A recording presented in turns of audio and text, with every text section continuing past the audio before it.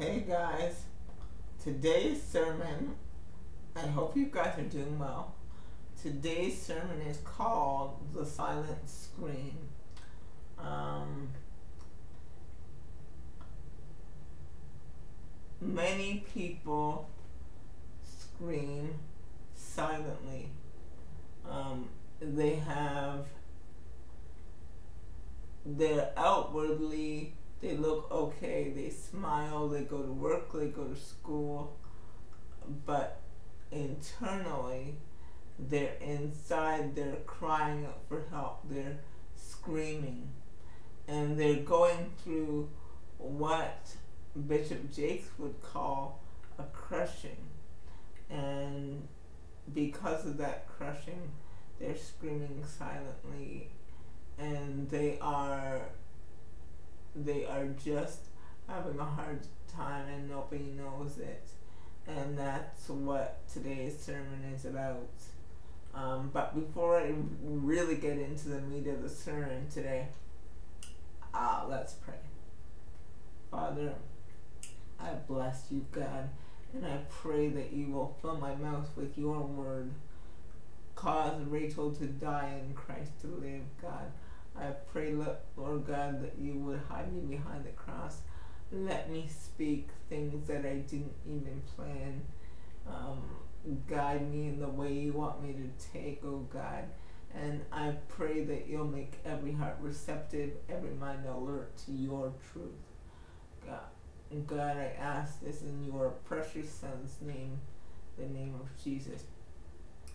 Um, in the name of Jesus. Amen. Um, the silent scream is all of the things that we as people try to hide. We as people um, try to dress up and make it look like something it is not. Um, we try and make it look, we try and make our lives look so not perfect because we all know that nobody's perfect. But we try and gloss over the issues in our lives, and God is calling for a sound. He wants the silent scream to come out. I think I, in fact, I know that people operate the silent scream in so many different ways. Some people scream uh, through um, having affairs on their wives. Some some people scream through uh, social media. Uh, some people really scream through social media. Some people scream through um, just being silent. And the Lord, the Lord desperately today wants people to be free wants people to know that they don't have to suffer in silence. They don't have to say that everything's okay, oh yeah, everything's good, and then go home and then struggle with what they're struggling with. To, to illustrate this, I was thinking of um, uh, last week I did uh, my sermon called uh, The Case of the Uneaten Chicken and in that I I told the story of Bobby and Brenda and how um, they went through problems in their marriage where Bobby um, just kind of neglected Brenda and neglected his children, um, Melissa, Emily, and Ryan. Um, and then I told how God, uh, through counseling and God's grace, He restored their family. A totally fictional story, and I got great feedback on it uh, from uh, those who have listened to it. And so, to illustrate this this point, um, this point about the silent scream, um, I'm going to do kind of the same thing I did last week, which is to tell a story and to preach at the same time. So, using the exact same characters, the children of these characters, I'm going to illustrate um, the silent screen. So last week I talked about Bobby and Brenda. This week I'm going to talk about Melissa, Emily, and Ryan, their children, and how different people uh, scream in different ways. Um, so let's start with their first girl, Melissa. Um, M- Melissa, as I, I said before, Bobby was a pastor, and so she grew up in the in the kind of environment that fostered love and fostered God. And even when her parents were going through that marriage, um, marriage issues, she still grew up in that kind of environment. But when they were going through that issue in their marriage, um, her mother was t- so taken up with the fact that um, her father wasn't paying attention to her, and they kind of, the children kind of got lost. And how it affected Melissa was one day she, her parents weren't fighting, they didn't fight, but everything was silent, like they wouldn't talk to each other, they would barely say anything to each other. Uh, when her mother would ask her father a question, her father would be too busy planning a sermon. So, this silence in the house and this not talking about what was going on in their house caused Melissa to keep everything that she was going through inside all the uncertainty, all the pain, all the wondering if did I do anything? Did I could I do anything differently?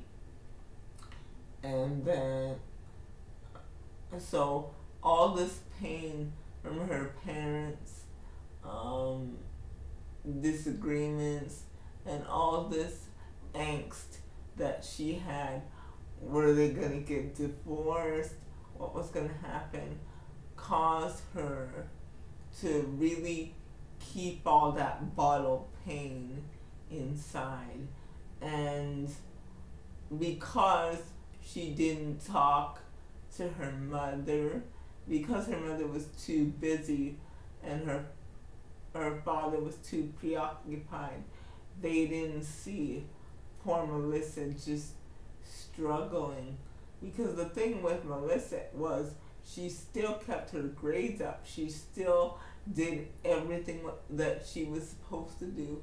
So there was no outward sign that she was struggling. And what happened was Melissa um, met Andrew at school.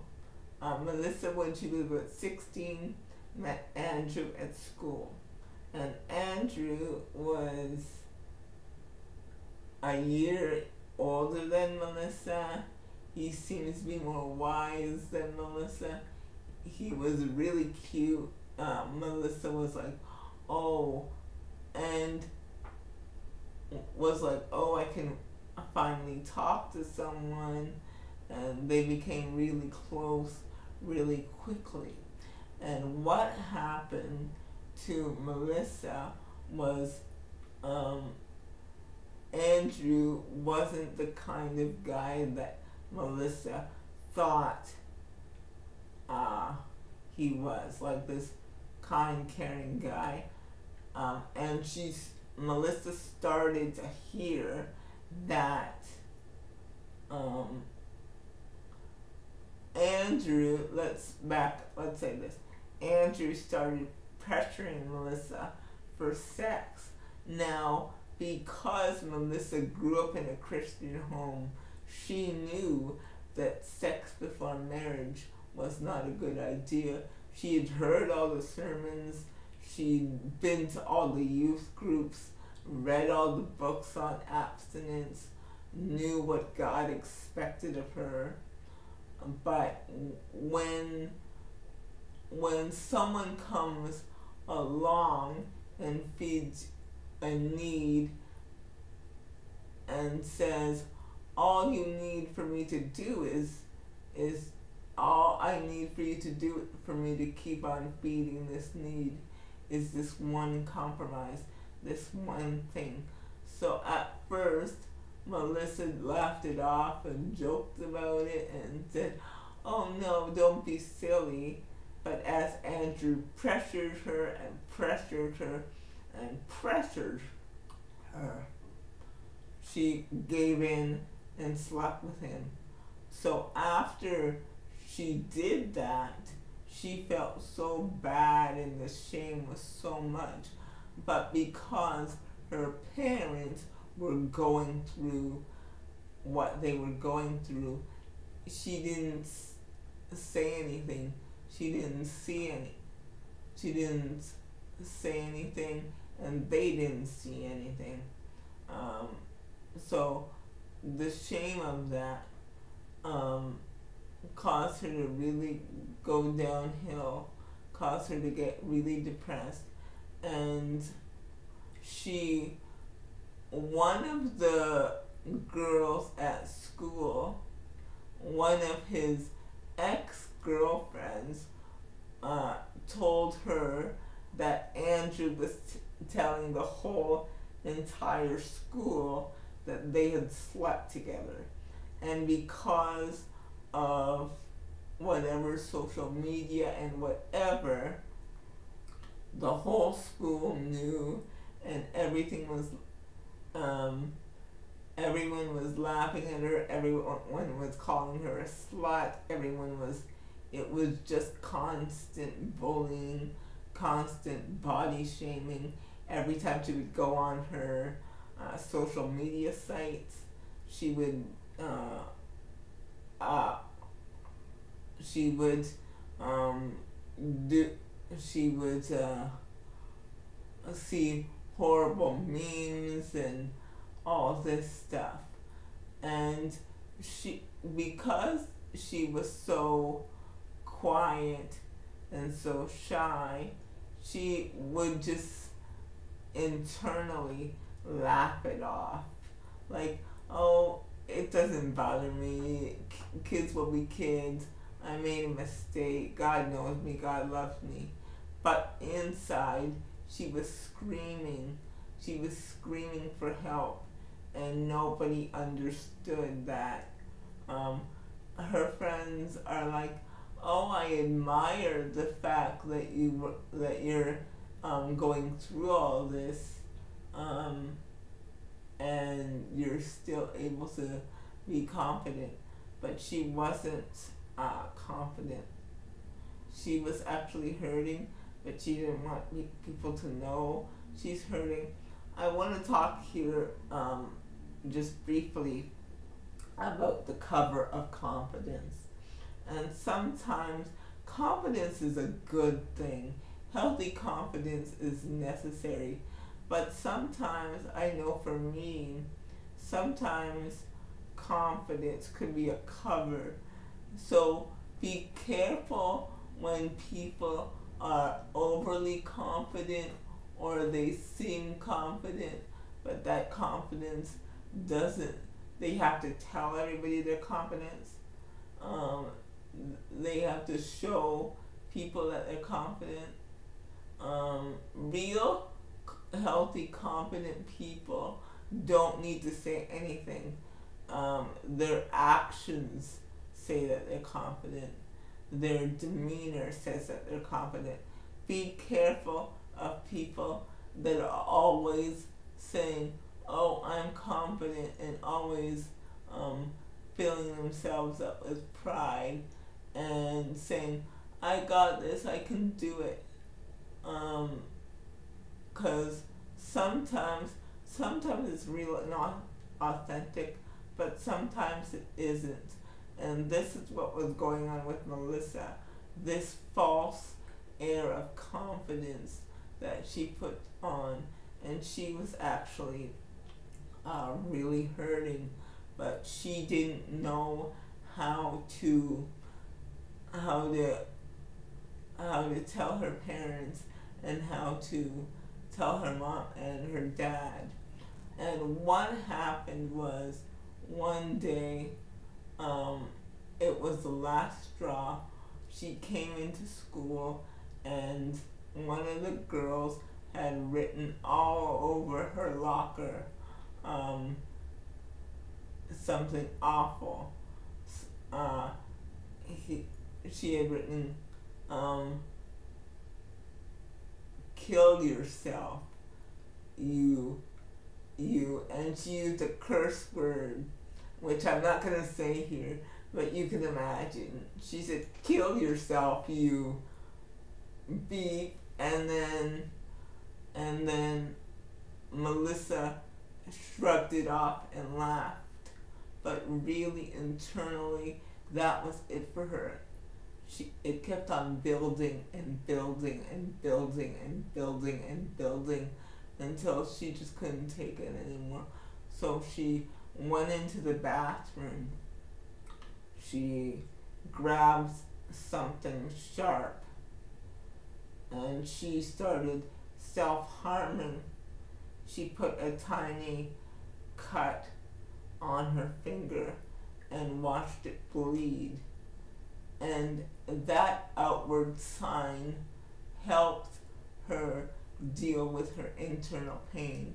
And from that day, she started self cutting every time something would appear on social media, something would happen uh, to her, anything, anyone would mention Andrew, that's what she started to do.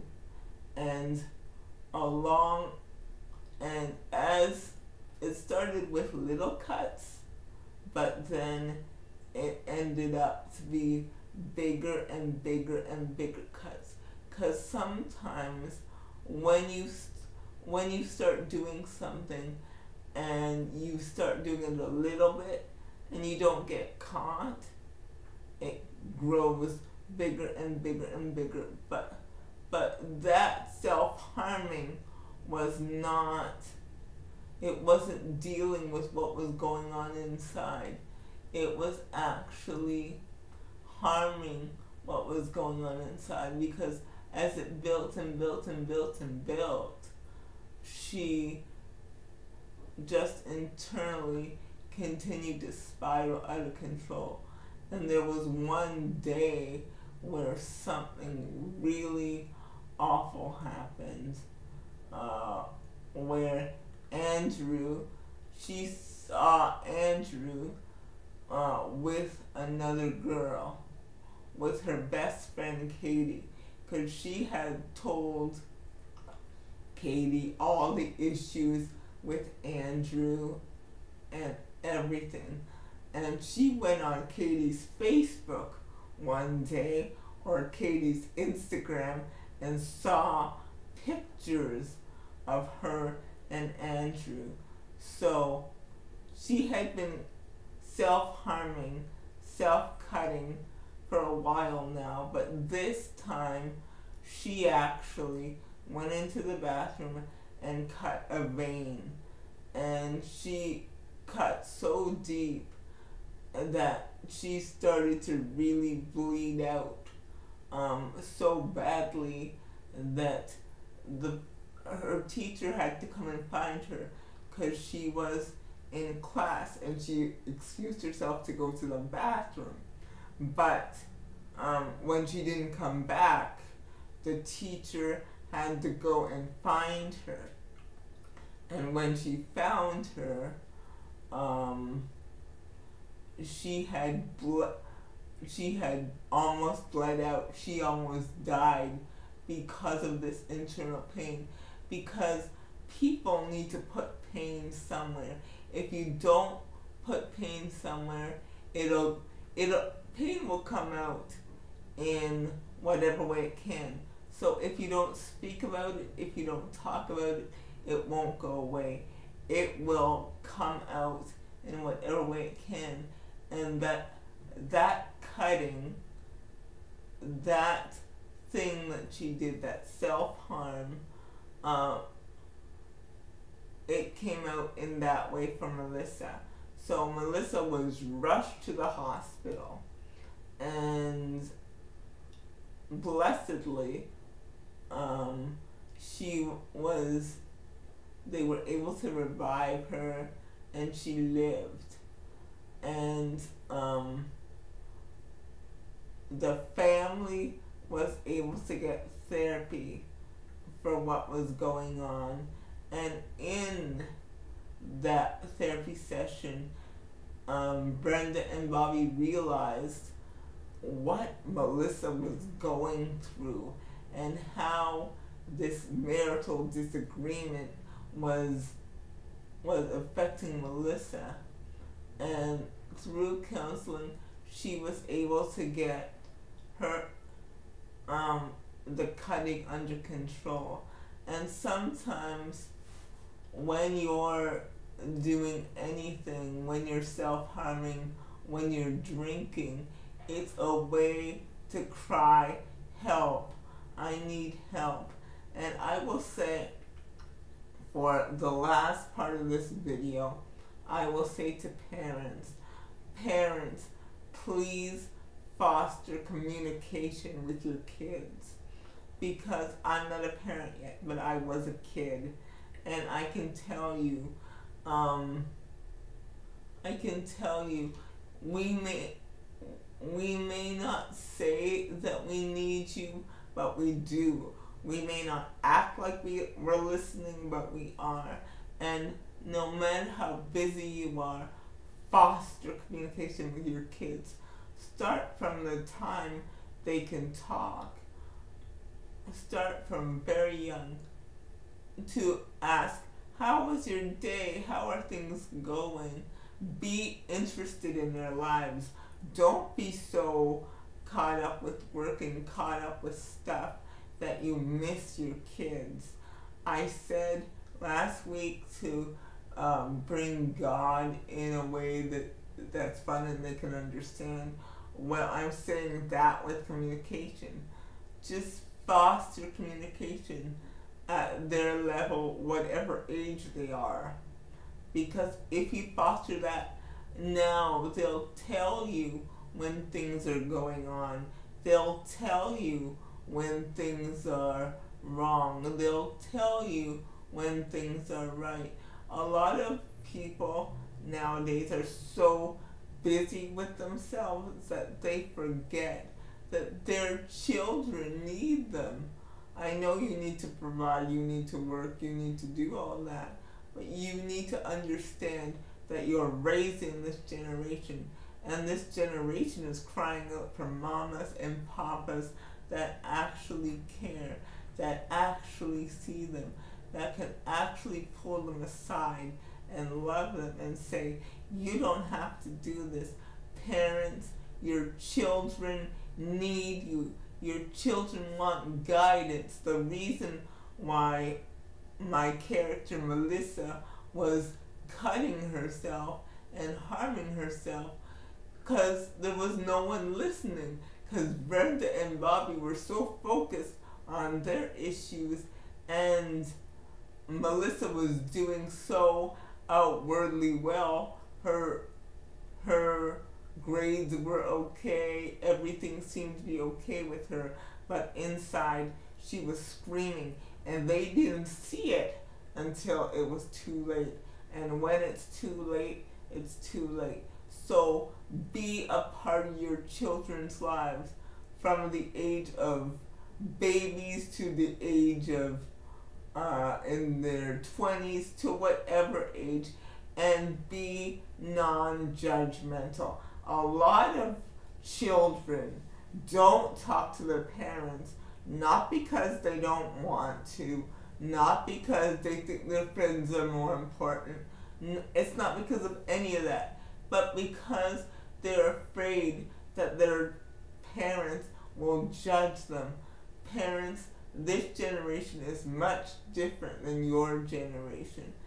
And they need a place where they won't be judged. If your child comes home and says, Mom, Dad, I'm gay, the first thing you do is say, We love you. They need to know that all the time. They need to know that whatever what whatever you do, whatever you think you are, I may not always agree with you, I may not understand you, but I love you. And I think that a lot of a lot of children really don't feel loved by they by their parents. They hear it, but they don't feel it. And I've learned in my life there's a difference between hearing I love you, I love you, I love you, I love you, and then actually feeling loved or saying you can come talk to me about every anything everything and then them hearing you gossip about your friends on the phone and you think they're going to come talk to you children respond by action. They don't respond by word and people respond by action. So it's not what you say it's what you do. And i think that sometimes we are so we are so worried about being uh, biblical and what the church says that we forget that those children are our children, that they are still our children, no matter what they do, no matter who they are, no matter what they're involved in, they still are children. And they need our love. They need they need a place that is safe, that they know they can bring who they are, they can bring all their mess to the table, and they know that you will help them without judgment. If you can't help them, you'll find counseling, you'll be there, you'll find love, you'll find everything for them. And they they need to know that you care. They don't just need to hear that you care, because hearing that you care is one thing, but knowing that you care is entirely something different. It's it's totally different to hear that oh I care about you, I love you, and see no action to towards it, rather than to to see that you care and feel it. Because sometimes people say things, um, but the person saying it doesn't show it. So we can say all this stuff on social media about how we love our family members and how our children are so important. But if we don't see it in our daily lives, then it's just good words. And I think the world is tired of good words. We want people that act out what they live out what they what they speak or what they say. And that is the same for our children. They're desperately wanting love. They're desperately wanting acceptance. They're desperately wanting to say you know what? No matter who you are no matter what you do, I accept you. And acceptance doesn't mean you condone everything that a person does. Acceptance means no matter who you are, I embrace you. I don't you don't have to agree with them, but you have to respect them and you have to accept who they are. And when a person knows that you accept who they are and respect their decision despite your personal view, they will open up to you like you wouldn't believe. And because back to my fictional story, Bobby and Brenda didn't do this. Uh, that is why Melissa ended up in so much trouble. And it took counseling, it took doctors, it took dietitians to help Melissa restore who who she was. It took prayer. It took first of all, before all, all the dietitians and the doctors, it took a talk with her parents. It took God. It took her bowing before the Lord and saying, God, this is who I am. I messed up. When she, when Melissa woke up from the hospital room before anything happened, she said, God, I need you. God, I made a mess of this with Andrew.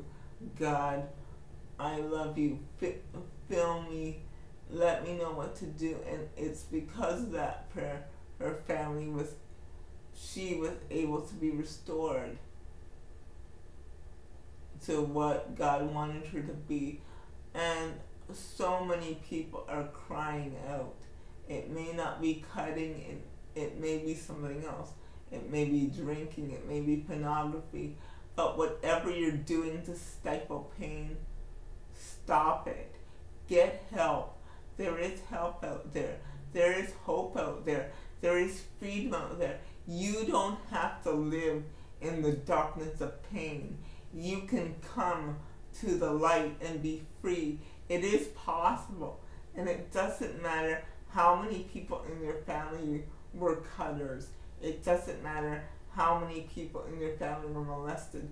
You can make a change today. Decisions, okay. Uh, a new life is only a decision away. So, change is only a decision away. If you want to change, if you want a new life, nobody can make you do it. All all they can do is help you once you make that decision decision. You you, you have to want to change. Change is possible but it's not possible unless you take the first step. Unless you say i'm broken. I'm messed up i'm an alcoholic unless or i cut i whatever you do unless you're man enough, woman enough enough to say, I need to change, it won't happen. You have to make a conscious choice that I need to change, I want to change. Um, a lot of people uh, want to change, but they just don't say it. And, and because they want to change and are silent about it, they don't they don't change because what you're silent about uh, can't help you. But what you what you voice can can start you on the journey to change. So don't just want to change in your heart. Go to somebody today. First of all, go to God and say, God, I want to change and then go to a pastor, go to a friend, go to a professional and say, listen, I want to change. Tell me how. There are tools out there for any addiction, anything that you're in. But all you all you have to want to do is change. All you have you have to do is want to change.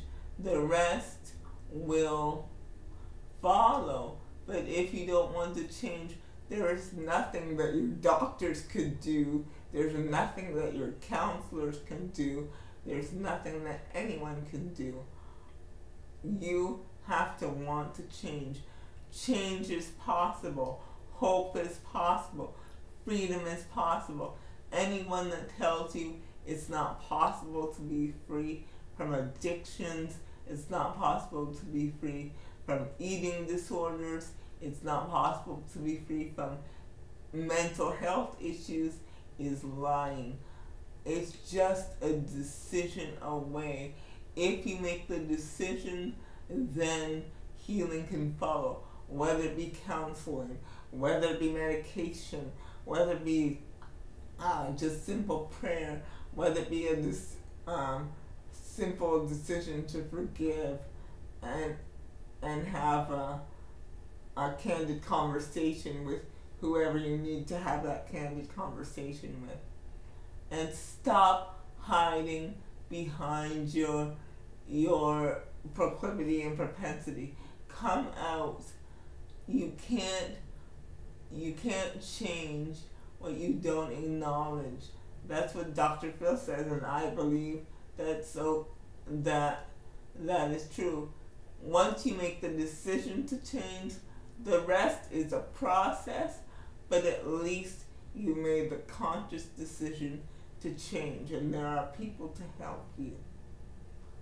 Father, I thank you for what you've done, and I thank you for what you've spoken today. God, and I pray that you permeate every heart, every spirit, every soul, God. Go into us and infiltrate us with your spirit, Lord. Cleanse us from all unrighteousness. In the name of Jesus. Amen. So, guys, thank you for listening to this. I love you all. Bye.